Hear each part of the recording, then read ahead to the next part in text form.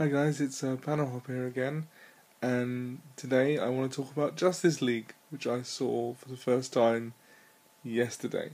I went out and I bought the Blu-ray.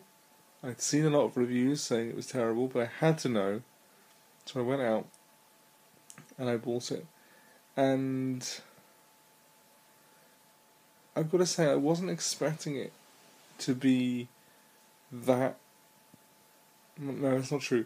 I was expecting it to be that bad, but I thought it would be bad in a different way. Like, Batman vs Superman was very bad, but um, it was at least looked like it had some effort put into it. It was kind of thundering and wrong-headed, but cohesive in that wrong-headedness.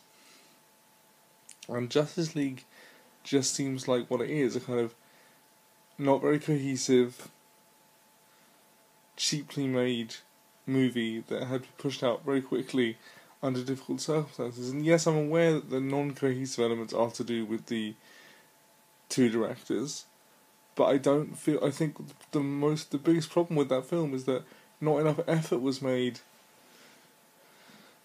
to bring the two directors' visions in order as much as possible. You know, there are other films that, mm, that have been directed by multiple people where they might have had conflicting visions, but the end product is still cohesive in and of itself.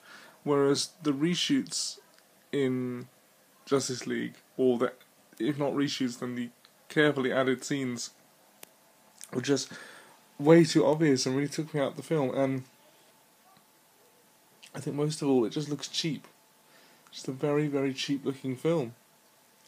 I don't understand how something that costs that much to make could be so cheap. I mean, it's very, very confusing. But yeah, those are my thoughts on Justice League. It's really bad, but I bought it because I had to know. And those are kind of my thoughts on it. Anyway, I'll see you guys later. Bye.